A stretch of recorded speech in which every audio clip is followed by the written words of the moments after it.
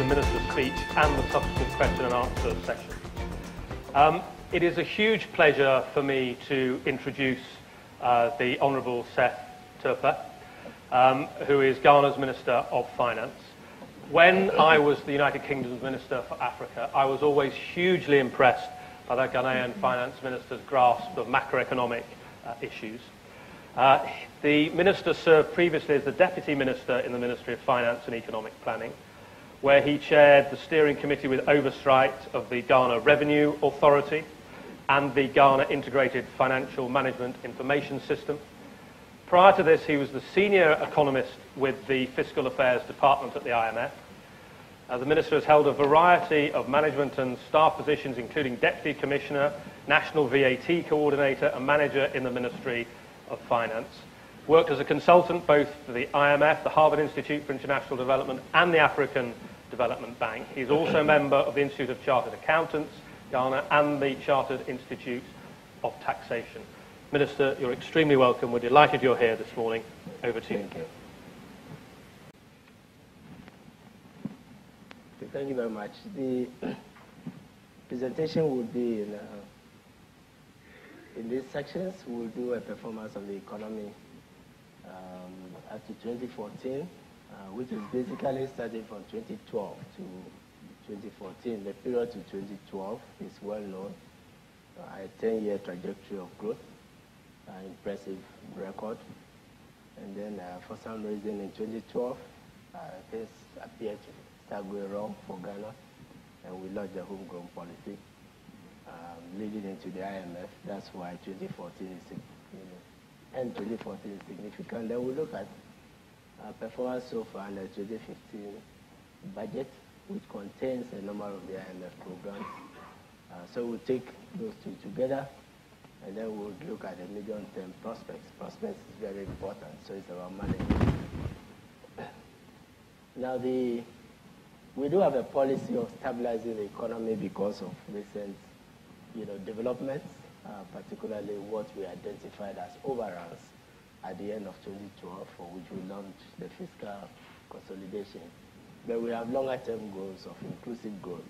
Inclusive growth is important because, as many of you will know, Ghana has one of the most earmarked you know, budgets where we dedicate funds to education, health, and we think that directing that and aligning it to government policy, you know, would take care of significant social intervention needs, and therefore you have inclusive growth, and you do not fall into the trap of countries that grow at the expense of large segments, you know, of the population. Um, but it's important to note that at the time Ghana was going through its issues, Ghana was also in a major transition. Um, Ghana was transitioning from a developing country to a lower middle income country, uh, beginning with the uh, rebasing of the GDP in 2010, uh, which immediately shot us into middle income status. And then in 2011 uh, into 2012, when we had the first full year of exporting crude, Ghana consolidated its lower middle income, you know, country status. And therefore, it's an irony that that was also the period you know, when the economy started suffering, you know, some setbacks. I think the shock of why Ghana appeared to reverse was so uh, significant for the markets in particular that uh, there has been some overlooking of the factors that led to that, which we would, you know, discuss. There's a big lesson for middle income countries that are, you know, in transition. And then we look at the prospects. Despite what has happened, the prospects for Ghana you know, are bright, and we are beginning to see it. And the question, therefore, is how do you learn from your lessons and don't repeat the mistakes when you come into another round, you know, of growth. Uh, so the three things are, you know, it is this element that also has led us to look at not just consolidation, but deep structural reforms. We are doing some very deep structural reforms, which we will discuss in order that. Um, so uh, some of this will be available on our website pretty soon, so we're not going to run into it. The events where we were in 2012, to pick just two items, you can see Ghana was growing 9.3, and then it started, you know, with the shocks, and by the end of 2014, you know, this growth has slowed to 4%. And then, uh, but the trajectory is that we'll be going back to 7, 8%, you know, growth. So as I said, uh, the story follows the same, and you can see gradual, you know, improvement in some of the indicators. We can speak to some of these. One of the reasons why Ghana went into some reverse is a serious misalignment of the budget. And you can see either in terms of total expenditure or as a percentage of GDP. You can see the uh, green line, green thin line, which represents interest because of the nature of financing short-end interest payments for the first time has, you know, uh, outstripped capital expenditure, excluding, excluding the uh, statutory funds investments into uh, capital. Uh, this is the first time that has happened, but this is going to be resolved through refinancing and other, you know, issues.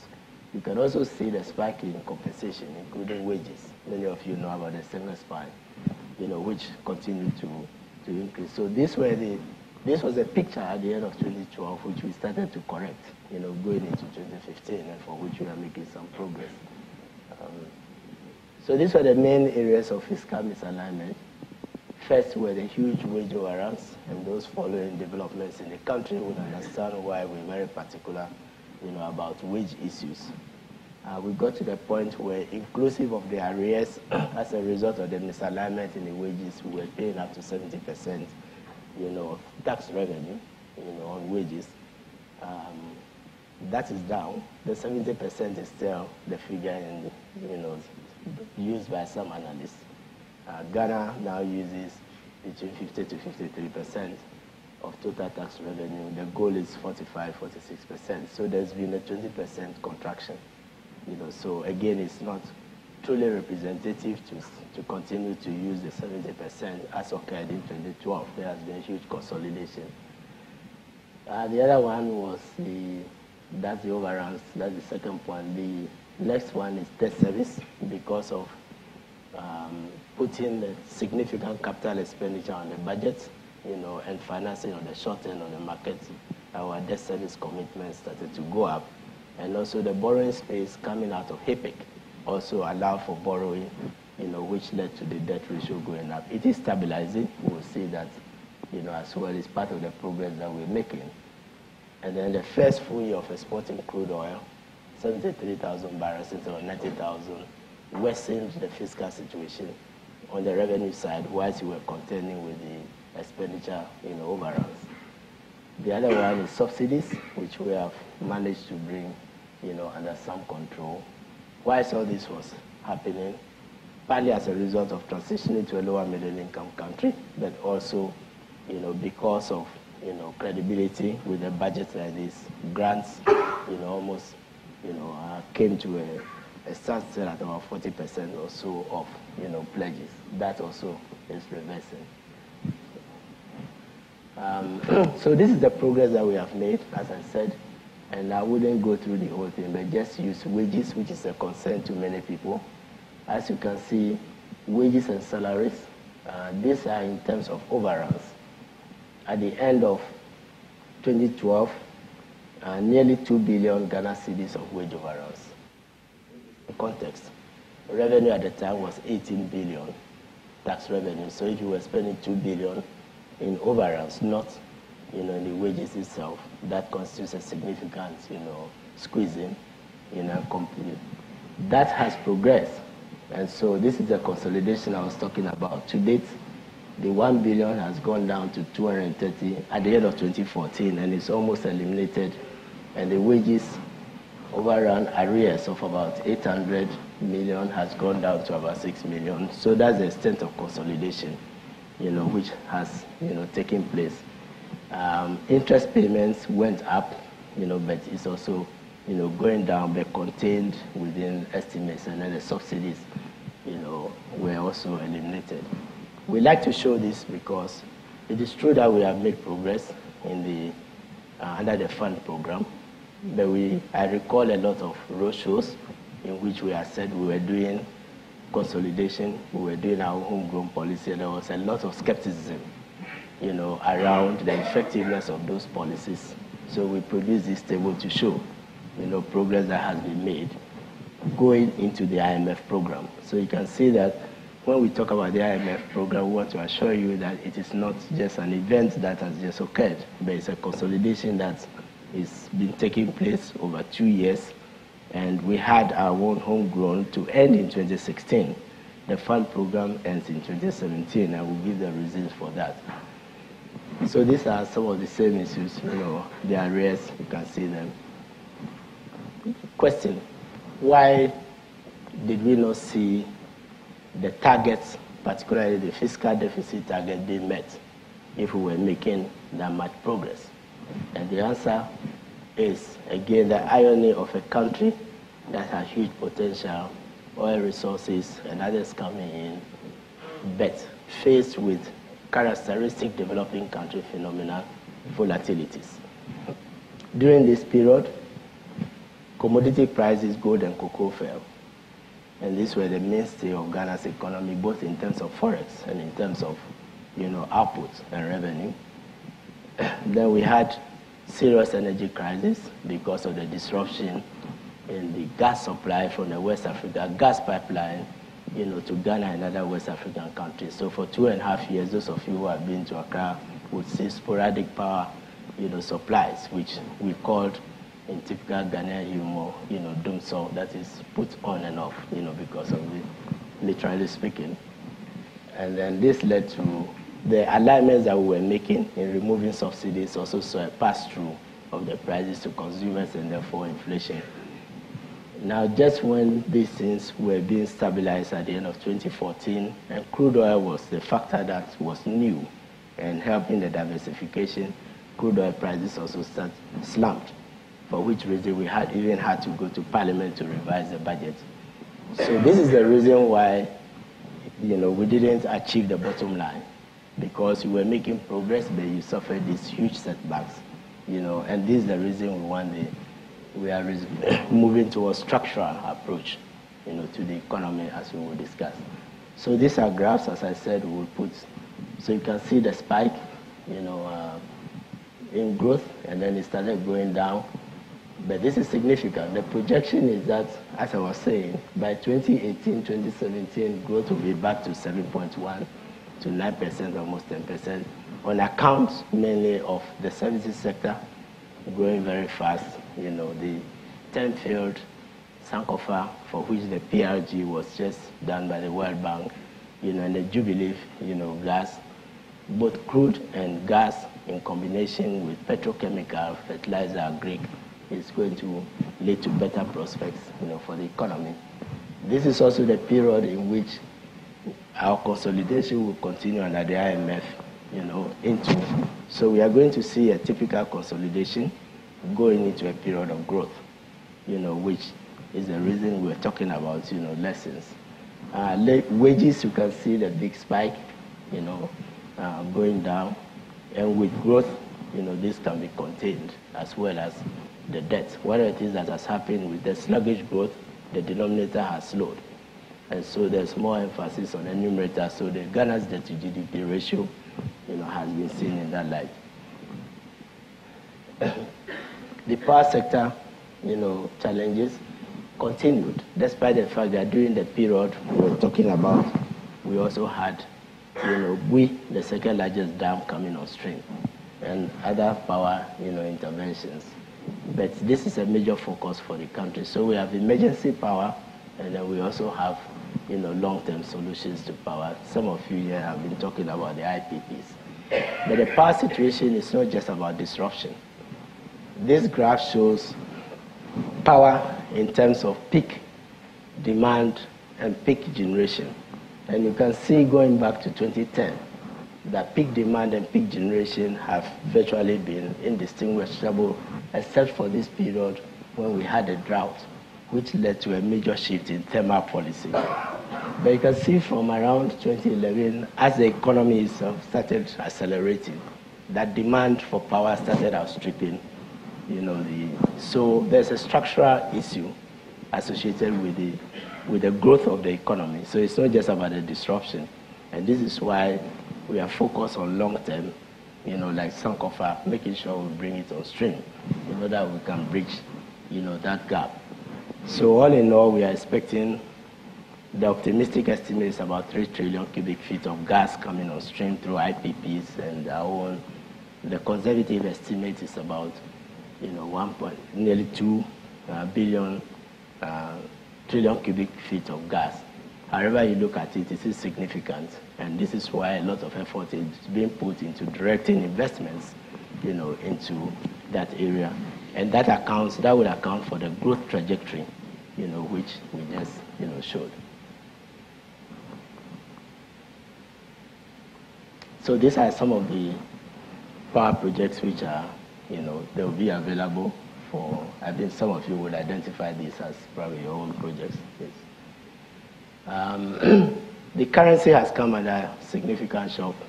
Definitely, I mentioned the commodity prices and the others, you know, led to, but it's also not just a Ghanaian phenomenon. In Africa, you can have Nigeria, South Africa, and others also having the EM markets. You know, so often Ghana is viewed because of the record, but this is also associated with, you know. Um, but we're taking some measures to make sure that you know, we, um, we resolve some of the exchanges like the power, including better management. Most of you will be, you know, you know the familiar seasonality of Ghana's um, forex earnings through cocoa coming in and then going to the dry season, the, you know, the demand, you know, so those can be resolved through market tools. We are using a lot of market tools, you know, now. There's a liberalization and competition you know, for more liberalized use of, which is bringing competition, tighter customs, you know, controls, and others. These are all policies which we are introducing in the short term. But like power, there's a structural element, and therefore we have medium term. The structural element arises from the fact that we have been dependent on primary commodities for forex, cocoa, gold, now crude oil. So we are launching, you know, export-led strategies, including the establishment of an Exim Bank to support through credit and guarantees, you know, the um, SMEs in particular, and then also, you know, making sure that our incentives, tax incentives are driven towards exports rather than, you know, excessive imports. So again, this is structural, just like our PFM and other reforms. There are a lot of structural things we are doing in power, PFM, revenue, you know, which is consistent with our transition to a lower middle income you know, country status. Yes. So this is an account of, you know, the situation, the worsening current account and other situations, as you can see, is beginning to reverse, consistent with the picture. We do not have the trajectory into 2017, but you would have seen, you know, that there's going to be significant, you know, improvement. However you look at it, you always see the worsening and then and this is during a period when we are still going through serious commodity crisis. You know, the situation continues to improve. Uh, so this is the dip, which is, you know, improving. One of the instruments we are using, and it's been, it suffers some setback, you know, as a result of the fall in crude oil prices, is better management, you know, of our oil resources, which has three components, the heritage, the stabilization fund, you know, and then the budget funds. Two initiatives. Uh, we are taking part of the budget funds to establish the Ghana Infrastructure Fund, which will be the instrument for borrowing for commercial projects, in order that we remove them from government, you know, budgets, and they are subject to market discipline. This is more like a sovereign wealth fund, you know, approach to developing commercial infrastructure in the in the country. And the second element is a cap that we place periodically on the fund to establish, to use the difference to establish a sinking fund because Ghana's debt structure, one of the features is that it has too many bullets. If you take our 90-day uh, bills, they are bullets. If you take one-year, two-year bills, they are bullets. If you take our sovereign bond, they are bullets, for which reason we are refinancing the 2017. We want to move towards a Gabon, Cameroon, type you know, Philippine type sinking fund approach where you put part of your resources aside to backstop the principal payments and don't focus on just interest payments. And the prospects are, are good, you know, as we have projected. Uh, we have um, currently accumulated over 500 million US dollars in three years in the stabilization fund, and 250 million you know, dollars has been used to support the budget, but also to start to initiate the establishment of the, of the sinking fund. This is one of the structural things which you know, we want to do. So the focus is on you know, structural changes so that you know, we do not. We know that debt is of concern. We have a number of initiatives, including the separation of commercial projects, you know, for which government offers guarantees and which the World Bank in their DSA puts 100%, you know, on governments as public debt. So we have a number of, uh, and separating, this picture shows the number of commercial projects, you know, which, for which government has guaranteed, which are sitting on government debt, some of which have been um, paid for by the taxpayer, others are being paid for by the institutions. So you have Volta River Authority, Electricity Company, uh, BOST, uh, Ghana Water, all these are commercial projects. So even if we can retrieve 60% of this from the bills, you don't have to put it on the taxpayer. So this is a deep structural change, and we have a number of policies outlined, what we call the debt management policies. Um, now, this graph is important. We know that in cedi terms, because of the depreciation, uh, the, um, the debt to GDP ratio is seen as ballooning. But actually, if you look at it in dollar terms, you can see that there's been a stabilization because of the moratorium we put on new debt, new borrowing, in order that we can focus on the pipeline. So we are beginning to see a tapering off. And we want this tapering to continue until we enter the growth phase so that the economy can support new borrowing, supported by the on-lending policies that we are putting in place, escrow policies. And there's a misconception around this. So quickly, uh, these are some of the debt policies. Let me go to. The first one is, sorry. Previous, okay. As a lower middle income country, our access to grant and concessional financing is going to be limited. And it's going to dwindle and perhaps, you know, diminish. So we are separating concessional financing from you know, um, non-concessional and directing concessional financing towards social infrastructure in order that we can recover from concessional loans. We are also moving a lot of sovereign guarantees towards projects. And we are not saying we are not going to issue guarantees, but like the recent PRG with the World Bank, there's a waterfall. The first is revenue to be escrowed from the project to pay supported by the World Bank guarantee as the second in the waterfall, and it's only in the event of default of all these three that the sovereign comes in, purely on account of default, not unfettered guarantee. This is a policy. It's been misinterpreted to say that we are removing policies, we are guarantees. No. So this is the trajectory, you know, going forward. For which reason we are asking all SOEs with commercial projects to, to use the projects to contribute We've identified so far just five of such projects, gas processing plant, Bui, Paul, about 800 million, you know, US dollars. Uh, on disbursement basis, it will be about 1.5 billion if you took it on commitment basis, sitting on government debt, you know, for which the projects could contribute.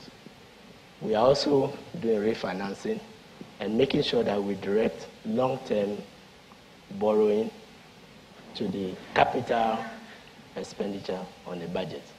We tended to go to the long, short end of the market to support capital expenditure. So our sovereign bond, as well as yesterday we launched long-dated domestic bonds for which insurance companies and the rest, pension funds, are expected to contribute to meet our social, our capital expenditure. So we are um, redesigning our borrowing tools domestically so that we use only long-dated you know, bonds, 10, 15, preferably longer, to support our capital budgets, to give breathing room to plans supported by the sinking fund, rather than just going to the treasury bill market 90 days, which is uh, posing a program for our debt service. I mentioned the sinking fund already. um, and then also the infrastructure fund I also mentioned. And then we are also we are seeing a lot of MMDAs, that's uh, subnational governments, putting all their expenditure, including capital expenditure. Recently, when there was a flood, there was a huge issue that we are asking whether the city of Accra should not be supporting infrastructure. And we're asking whether Kumasi is secondary Takoradi. So the new market in Kumasi is not fully on government budget. It's going to be financed, you know, from that project. And so we'll be launching an initiative for municipal bonds. Backstop, we know the risk. So it will be backstopped by the earmark funds from the budget for district assemblies, you know, to do this. Now, quickly, um, the story is out on this, so I wouldn't spend too much time. This is the revenue performance going into the first IMF review, which shows that the program is on course. And it's our intention that this you know, uh, IMF program continues on course. We know there are concerns about next year, election year, but the president himself has spoken on that, you know, so uh, the best spokesman for my economic policies. So uh, we intend to, you know, keep within the budget going into 2017 because the growth prospects, not least because the end of 2015 into 2016 itself begins the period, you know, of growth. One of the lessons we've also learned is to revise the budget immediately we have setbacks. So the Petroleum Revenue Management Act uses $99 to project we know that the price of crude will never be $99. So we went to Parliament in March and again in July to revise, you know, the budget estimates in order that, you know, we do not live under the illusion that we've made projections under the law. And we have subsequently amended the law to give the Minister of Finance the discretion, you know, to approve by Parliament, you know, to reduce, you know, the estimates for crude oil or other revenues anytime they, short, they come short and to adjust expenditures accordingly.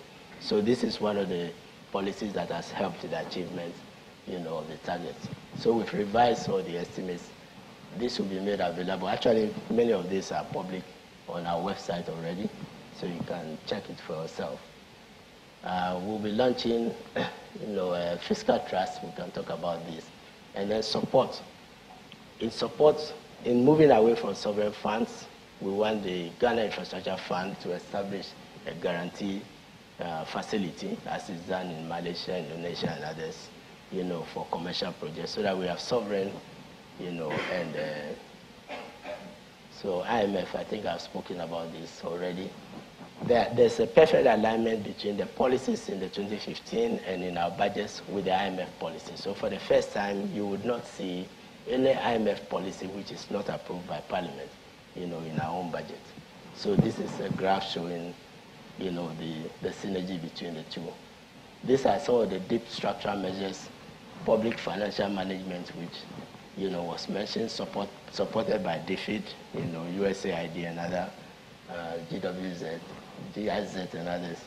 Uh, we are doing debt management, I spoke about it, and we are doing revenue reforms, you know, so these are also very deep, you know, reforms that we are implementing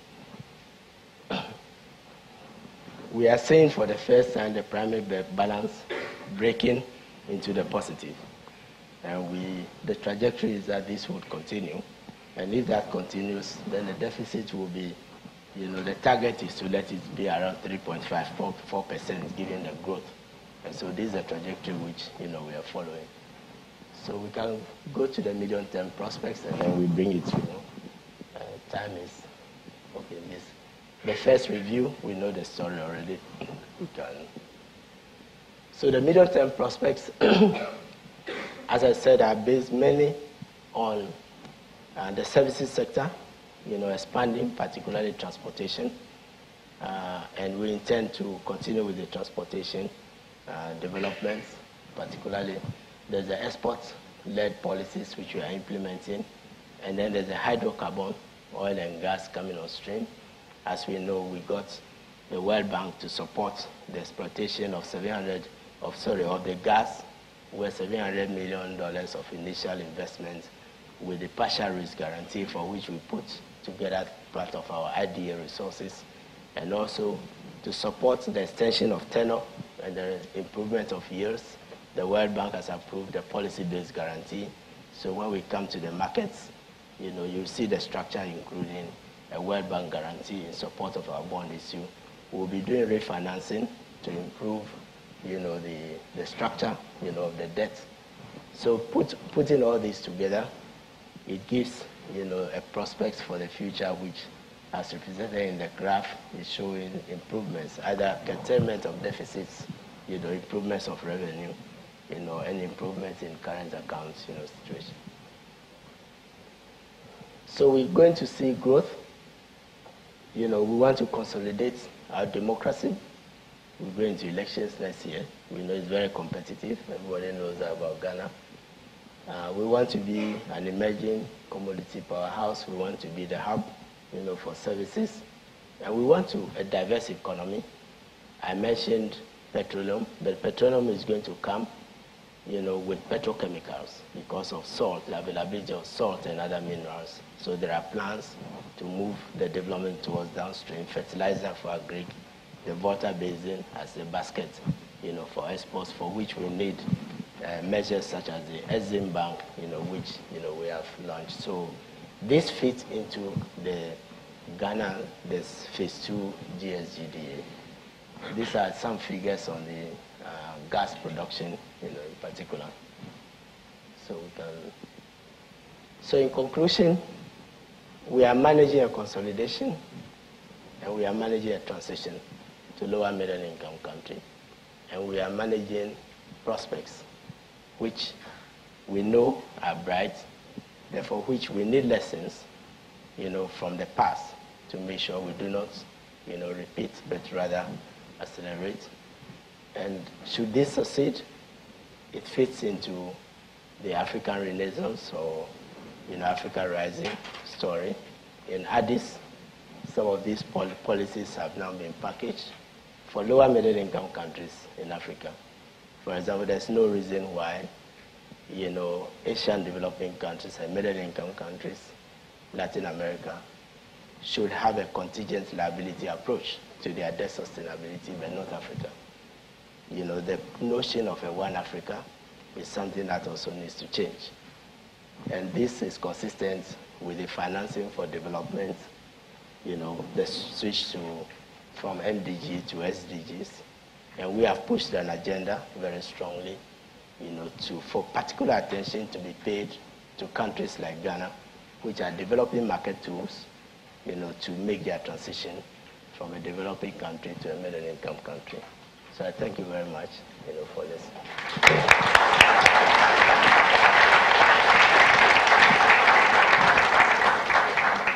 this. Minister, thank you very much indeed for that very comprehensive uh, explanation, both about some of the setbacks, the progress, and also some of the prospects for Ghana going forward into the future. Um, His Excellency has very kindly agreed to take some questions. Um, please put your hands up. If you could just announce who you are, who you're affiliated to, and please keep your question and remarks as pithy and as focused as you can. Yes, gentlemen Thank you very much for your very insightful presentation. My name is Alim Abubakri. I'm the CEO of Texan. My question is, um, to what extent would um, the forthcoming um, elections um, affect the government's policy on, you know, cutting spending? Thank you. Uh, Steve, Stephen Bailey Smith from uh, Standard Bank. So, linked to the question of elections next year, um, perhaps we could. Uh, is there any more details about how the wage round is going for next year? I believe this year there's a sort of uh, a wage freeze, um, but but there may be some some emoluments of additions. So what will be the actual increase in terms of the, the wage item for, for 2014, and what do you think that will be for 15, and, and, and how are we doing in, in terms of those wage rounds?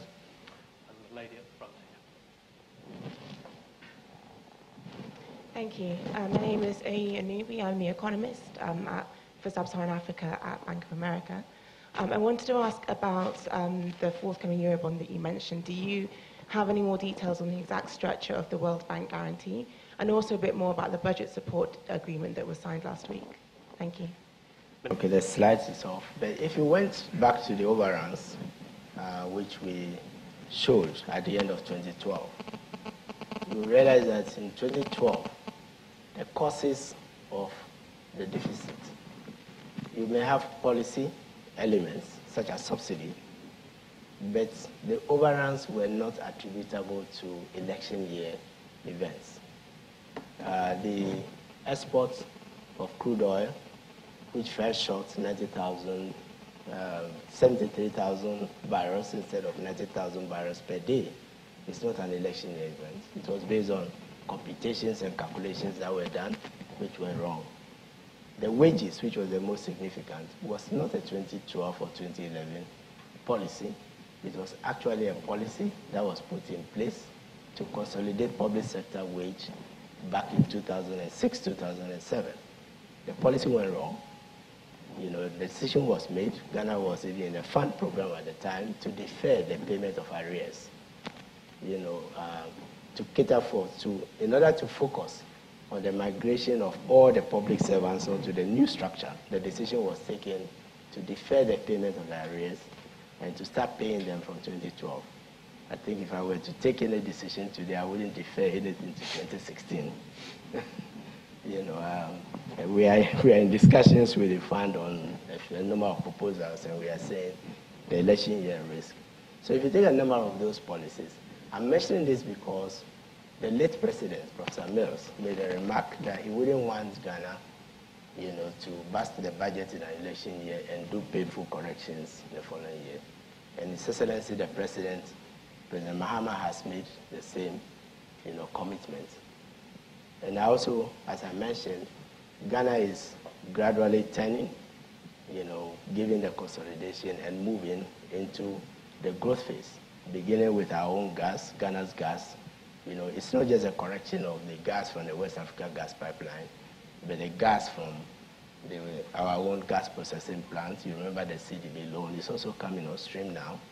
You know, about 100 scars of, you know, it's been, you know, um, processed. So there's every reason why, you know, we wouldn't want, you know, to, you know, go into that election year phenomenon. Finally, we do have significant pipeline of projects since we created a database you know, for all contracts at the moment, we, we have an idea of all contracts in the country because of the PFM reforms. And we know we have enough in the pipeline, you know, to focus on and not to start, you know, new projects and not to complete them. Moreover, we've learned from the interest payments that you don't put things on the budget. And so I think uh, the answer is that we're going to be careful in an election year. That commitment has been made and we think we can manage, you know, the, I'm not saying there wouldn't be challenges. the economy has gone through significant challenges. Uh, we do not have a wage freeze per se. We have targets for wage, including what we have is a net freeze. And the net freeze is that we recruit into the public service on attrition basis as and when vacancies you know, exist. But we are realistic to know that there have been inflation, the cedi has depreciated, it has affected, you know, incomes. But the forum that was held, including labor, all stakeholders, employers, you know, has agreed that we should always put our wages within budget constraints. And one of the goals we have set ourselves is to complete the negotiation before the budget is read so that we know the commitments. We've been coming close to that. Last year we came quite close. We couldn't meet it, but the wages, the negotiation concluded in January. Previously, it used to be May, you know, way into the budget. We are hoping this year, you know, negotiations will be concluded, and then we can contain, you know, any wage increases, which should be normal, you know, within the, um, because of market, you know, rules, you know, I cannot give uh, elaborate details on the Eurobond except to restate what is already known. Yes, we are coming to the you know, to the markets again to finance, you know, our capital expenditure using long-term bonds rather than, you know, short. And then we'll use a portion for refinancing. And to achieve this, yes, the World Bank provided a policy-based guarantee, you know, so we'll be coming into the market with the World Bank guarantee. The structure actually is still under discussion.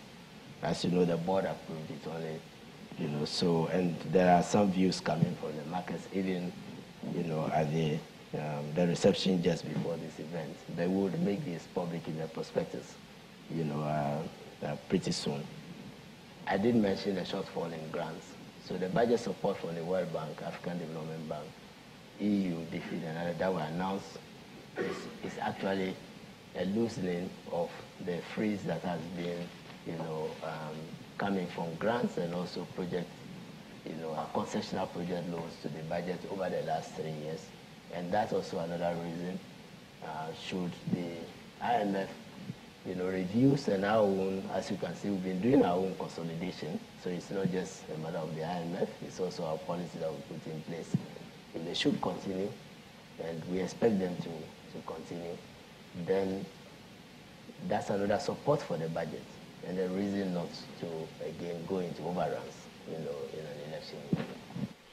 Uh, in the case of the Sudan, the government implemented the IMF recommendations to the letter and was praised by the IMF. But on the streets, we had demonstrations and protests by trade unionists and others. What is the Ghanaian experience so far? Peter.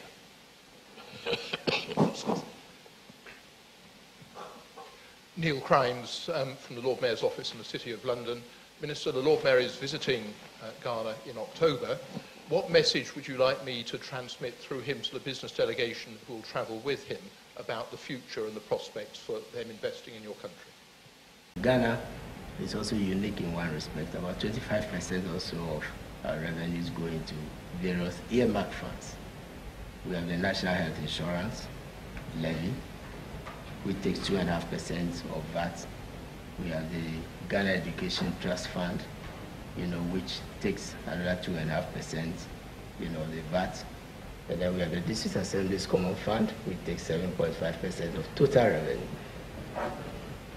For the districts and developments, we have been moving towards packaging this to address, you know, the needs of the vulnerable. So you have schemes like school feeding coming out of the District Assembly's Common Fund, school uniforms.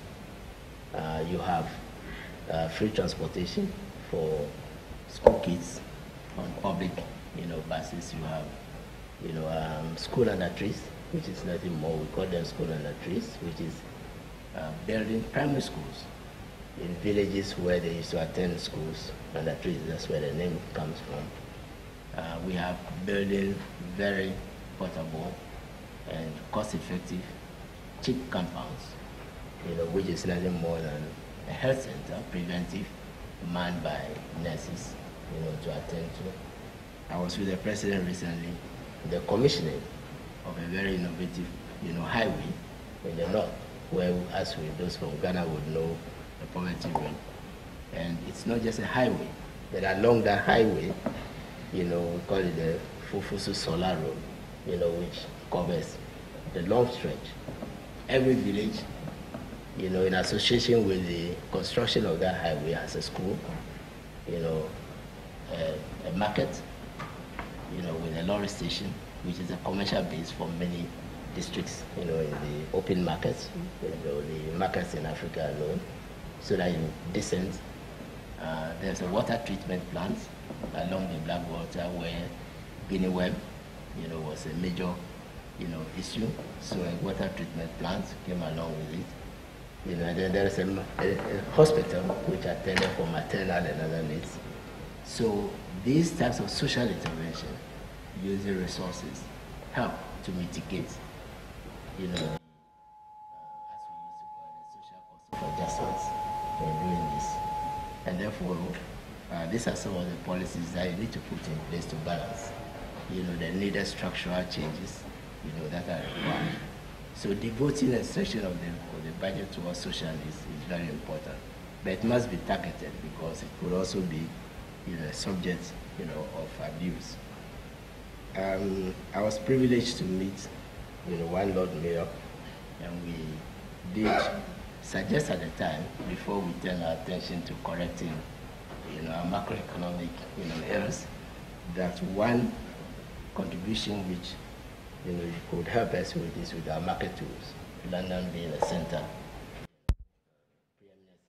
markets, um, our bond issues, you know, much of the patronage for those bonds uh, you know, from London. In fact, we do significant roadshow when we are doing our bonds in London first, you know, before we go to other cities. In many African countries, you know, if you take West Africa ECOWAS, you know, there's a pooling of stock markets, you know, to um, mobilize resources for development in the sub-region because it's a common market.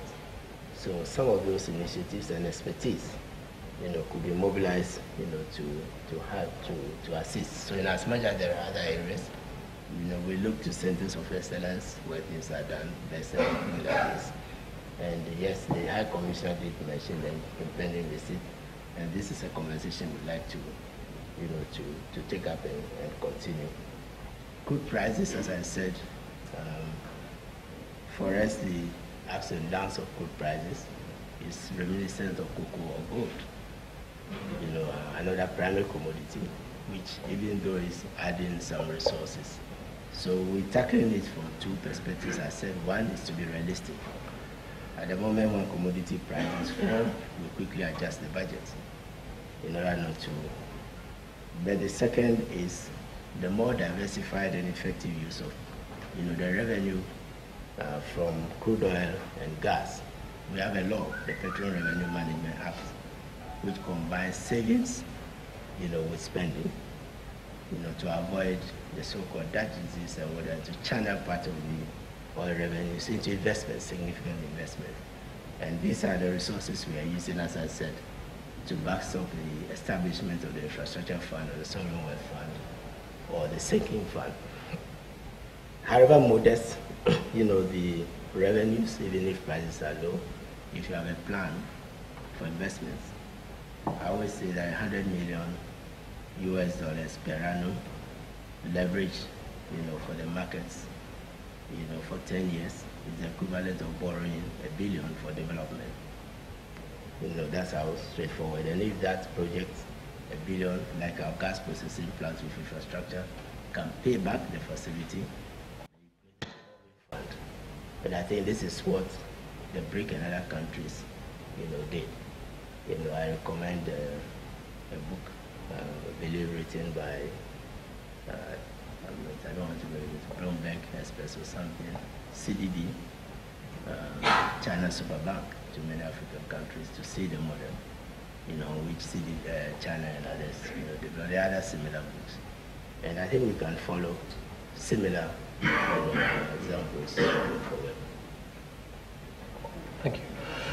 I, I, I, Chatham House uh, prides itself on running to time. We are supposed to finish at one o'clock, but with your permission, Minister, I would just like to take another group of three questions. There's a lady here, a gentleman uh, at the back, and, a, another lady at the back in the green. So if we come to this lady here who had her hand up before. And apologies for those who I haven't been able to get in. Thank okay, you. thank you. Teresa Smart, uh, researcher and writer on Mozambique but in a previous life, a mathematics teacher in Navrongo Secondary School in northern Ghana. Um, I'm particularly interested as Ghana still has a, a, significant rural population. What do you see the role of agricultural development, particularly of small and medium commercial, uh, scale commercial farmers, in supporting um, Ghana's growth prospects? Thank you. Thank you. Gentleman at the back. Yeah.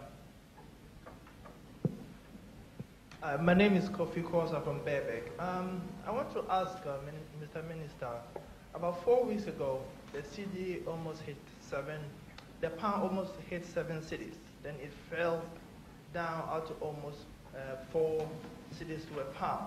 As we speak, it's now at 6.5. What are you doing wrong? Thank you. And the lady in green. Thank you. Uh, my name is Antoinette Salah.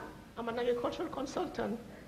Um, Singapore celebrated recently its 50 years of growth and uh, development.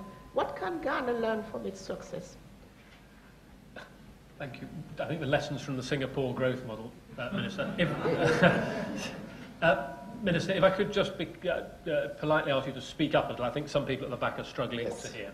Okay, sorry. Thank you. Um, the answer to our Greek um, is it's not just one policy. I mentioned taking advantage of the petroleum uh, to move into agro, um, agro processing, petrochemical, for example, fertilizer, small dams. But the one scheme which uh, has been proven to work is the smallholder scheme, you know, which the Ministry of uh, Agric is, which is uh, you get one commercial entrepreneur, you know, uh, with warehousing and inputs providing, being an aggregator for a number of small, you know, businesses, and that's also a solution to some of our dry season, you know, um, uh, food issues. The index, food index goes up, inflation goes up during the dry season, which is also the period of pressure on the, on the cedi. So there is a significant agri policy, you know, which is in place. When I spoke about diversification, agri, um, industry, and services on the backs of uh, the um, oil and gas, you know, is so we have diversification, value addition, and local content. These are the transformational, you know, messages. So agric is not as important. We are focusing heavily on agric, and agric is still quite significant. For example, cocoa alone, and what we can do for cocoa farmers, adding value to cocoa, you know, is uh, uh, resolve a number of problems, not just for the farmers, you know, but also for the economy. Um, I'd like to ask the question, what can we do right, not what did we do wrong? Um, because the, we know the factors. Seasonality is one, lately speculation, you know, and also the story about Ghana not reflecting, you know, because of the shock out of 2012, you know, so everything, you know, was on the negative side. Then we know that if you're a primary commodity exporter, you know, and you have you face market, you know, volatilities, usually you, you suffer reserves, um, shortfalls. And that's why we are taking, I already highlighted the short-term measures which we are taking. But we are taking a structural view like many things. Uh, we want to be more uh, export-oriented rather than importing everything. Uh, if you take Ghana at the time of growth, until now, I can count the number of Exim banks that target Ghana and other African countries. From, I don't want to mention specific countries, but there are about eight or so.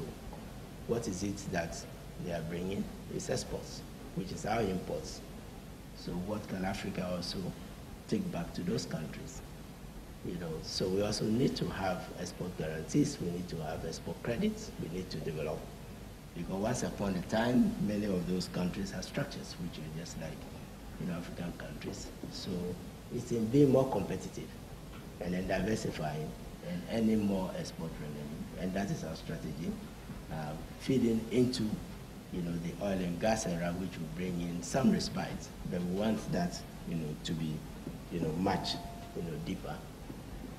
Uh, Singapore, um, if you ask many people, you know, in Ghana, they would compare Ghana to Korea and others, you know, uh, Malaysia, Indonesia, you know, at the time when in the 60s, Ghana was reputed to have per capita income higher than some of these countries. This is a story.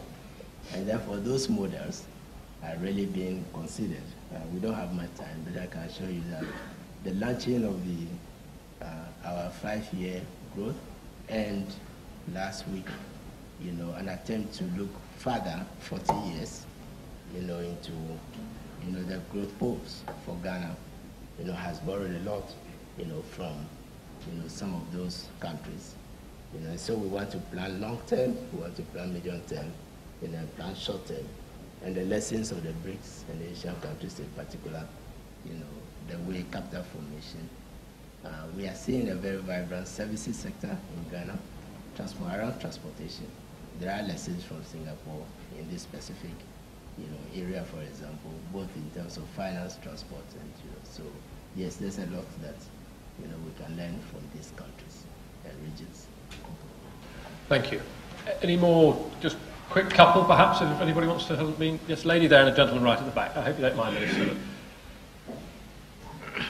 Lady here and then the gentleman. Thank you very much for your detailed presentation. My name is Naku Biatma. I'm from Sumitomo Mitsui Bank, SMBC. I just wanted to ask, you briefly mentioned about priority projects for the rest of the um, current government. And could you please elaborate on what those projects are? and what kind of support the government will be providing in terms of the uh, guarantees. And also, if you could comment on what the current status of the um, restructuring of ECG and the kind of downstream distribution side of the electricity industry is under the MCC agreement. Thank you very much. And the gentleman right at the back.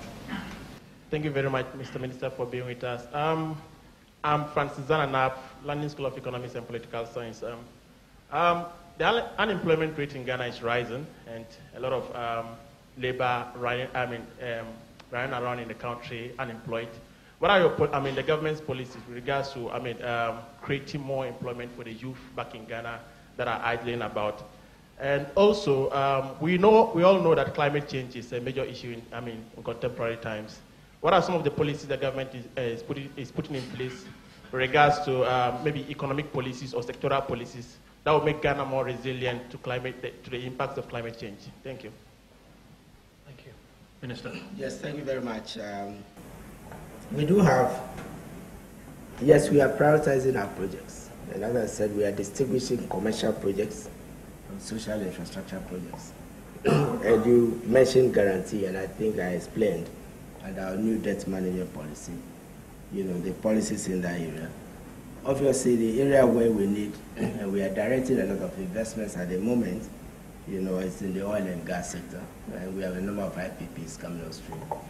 But it's not just about the upstream. There's a lot of opportunity downstream. I mentioned petrochemical. I mentioned, you know, agri, um, which are linked to that sector. Services, uh, oil services. We have seen the investments or the potential investment. I think the law has been, uh, Parliament has given approval for the establishment for the first time of an exclusively private port. You know, with some shareholding by public entities. You know, to target, you know, the oil services sector along, you know, the West African and other, you know, so there are huge opportunities, and these are where we are targeting. There are opportunities for barging along the Volta Lake. To be project specific, what we are saying is that in the past, we have taken term sheets and looked at the cost. And we've looked at concessionality and we've done everything about, you know, the cost side. Now we are saying to investors, work with our institutions, our joint ventures, our state-owned enterprises on the revenue side of the term sheet. You know, we want to backstop the borrowing with revenue from the projects. And so, for example, uh, you mentioned ECG. Uh, the, the restructuring is ongoing, but a simple project on the revenue side, prepaid meters, which we are promoting, will go a long way to resolve you know, the non-payment of bills, which is one of the big headaches for electricity company. So if you were to bring a package, not just for transformers and others for distribution, but a package to ring fence areas, you know, led by private sector to fix prepaid meters. After all, when I take my cell phone, I prepay. Or I don't make the call. And it's all over Africa. So why not prepay your water? Why not electricity? That's our approach. So that the revenue could come in, and then we don't put, you know, everything on the taxpayer through sovereign guarantees. So the sovereign will backstop, but the sovereign should backstop default, not the entire guarantee. This is what we are, and this is the practice in many regions, and it shouldn't be different, you know. In so that is our approach. So commercial projects paying for itself fully or partially, and then we can channel the limited budget resources towards social infrastructure projects in my Sudanese colleague. That's a way then to, you know, channel, you know, grants and concessional financing towards social infrastructure projects, like the one I mentioned, you know, in the north, which ties to the question of climate. You know, those are then how you channel budget resources. We have a climate, you know, change and climate policy launched by our Ministry for science and environment, time will not permit me to go into detail, but particularly in the north, even renewable energy, solar and others, which are more, you know, to replace gas. You know, we launching a scheme, for example, afforestation is, or deforestation is one of the big headaches in Ghana, as we know. But there's opportunity to replace this with, you know, instead of fuel, with gas. Um, is going to come on stream for domestic you know, consumption. So I think these are the, the areas. Uh, employment, the youth, uh, youth unemployment is a global phenomenon, and for Ghana in particular, given the acceleration in education and uh, investments of the private sector into education, the solution is not always government. And this is why we are working with the private sector, and that's why we are encouraging significant private sector. And some of the youth are doing things for themselves. If you look at the IT area, there's a lot of youth activity that is taking place, you know, in Ghana, and it's important that, you know, we support them because, you know, um, a useful entrepreneur who employs five to ten people is creating jobs. It's not just government that creates jobs. And so we have SME and other policies, you know, which is directed at the, you know, and we are appealing, as we said recently, to the Chamber of Commerce, the um, Association of Ghana Industries and the rest, you know, not to be too import focused, you know, but to also lead the part of the export. Because if you export, you create your own forex and you can support, you know, your own, you know, uh, imports. And so we're going to be working through the um, Export Promotion Authority and others on, you know, programs such as this, which are very, very sector-specific, you know, projects. Uh, there's a lot known about Ghana's macroeconomic policies, and we all discuss them. But there is, we are putting together um, investments and other, you know, such opportunities, you know, which are available in the private sector, so that it can be, you know, made known. A lot of the young people, you know, can be entrepreneurs. You know, uh, many of us we pride ourselves in talking about my mother being, you know, a trader, you know, a small shop market you know, then we can elevate that, you know, into the formal sector, the informal, you know, village market and town market into the more formal sector, you know, through SME and other programs. And, you know, self-employment is important. It's not just about employment, you know, also. Thank you. Well, could I um, bring this uh, presentation and meeting to a close? Could I start by thanking all of you for being here, taking the time to come out and uh, to listen to the Minister of Finance. But could I primarily take this opportunity on behalf of all of us, Minister, to thank you very much for your comprehensive and detailed synthesis of the Ghanaian economy and the outlook. I thought you gave a very candid explanation to both detailing the setbacks, the progress and the prospects, and also responded extremely candidly and honestly to some very good questions from the floor. And I hope you can tell by the number of people in the room today, standing room only, of the huge interest and enthusiasm that exists for Ghana here in the United Kingdom. So, Minister, thank you very much for your time today.